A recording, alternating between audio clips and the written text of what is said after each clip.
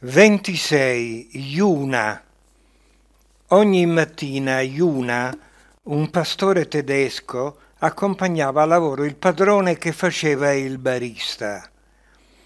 Quando il padrone fu ricoverato in ospedale per una crisi di asma, Iuna, non si sa come, entrò in ospedale e trovò la stanza dove era ricoverato il padrone. Nei giorni seguenti salutava festosamente ma compostamente e si accoccolava ai piedi del letto.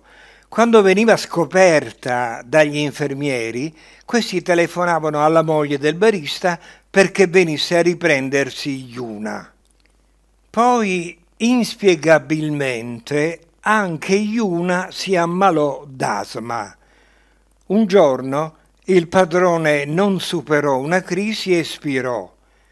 Qualche ora dopo anche Iuna morì per una crisi di asma. Commento.